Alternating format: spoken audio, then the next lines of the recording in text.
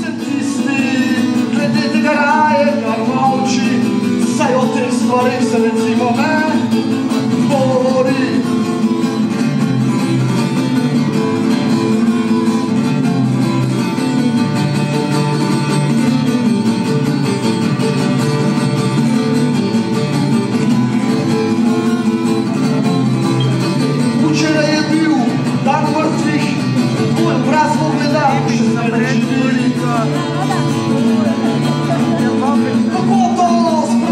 como el portrait